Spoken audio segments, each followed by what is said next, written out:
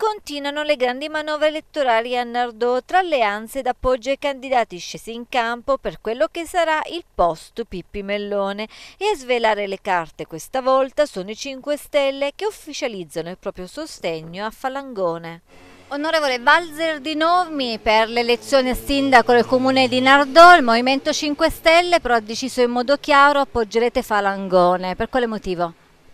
Beh, per un motivo semplice, perché questa coalizione nasce da mesi di lavoro, di duro lavoro di attivisti, di professionisti, di persone in gamba e per bene proprio come Carlo, eh, grazie al lavoro del nostro consigliere regionale Cristian Casili, della nostra deputata, la mia collega Suave Alemanno e di tutto il Movimento 5 Stelle locale che ha deciso di puntare con lealtà e, con e senza ambiguità a, a questa candidatura che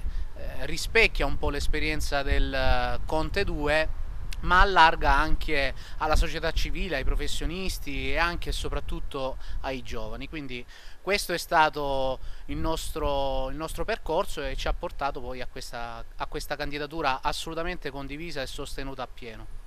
Cos'è che rimproverate maggiormente al sindaco uscente Pippi Mellone? Indubbiamente eh, è sotto gli occhi di tutti, qualcosa è stato fatto, ma mh, nella gestione di alcune dinamiche sicuramente c'è stato qualcosa che, che, che, lascia a desiderare, soprattutto diciamo, per quanto mi riguarda io mi sono occupato di alcune questioni eh, legate soprattutto alla legalità e che vedono insomma, eh, il sindaco ed alcuni suoi fedelissimi eh, coinvolti in delle situazioni poco chiare, poco trasparenti. Ecco, io penso che noi da uomini e donne delle istituzioni